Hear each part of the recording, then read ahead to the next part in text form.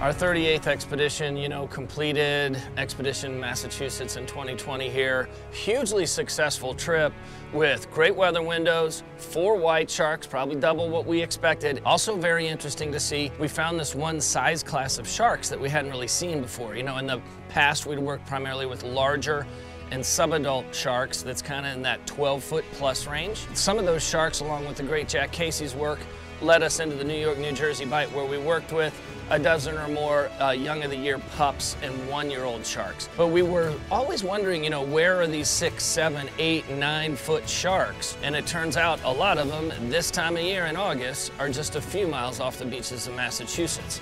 We're going to continue to come here year after year after year. Our science team needs more sample size from this region, and so we look forward to returning back here year after year until that's done.